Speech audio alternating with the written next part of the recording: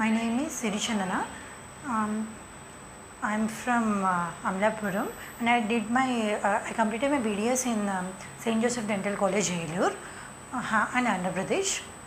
I came here uh, for doing RCs and uh, crown cuttings.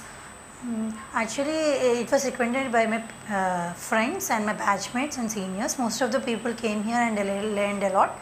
So they recommended me to me when I said that I wanted to learn uh, uh, RCTs and all. So I came here, and uh, here the patient's exposure was so good. I did more. Uh, I did more than 25 cases on RCTs and 15 on uh, crown cuttings.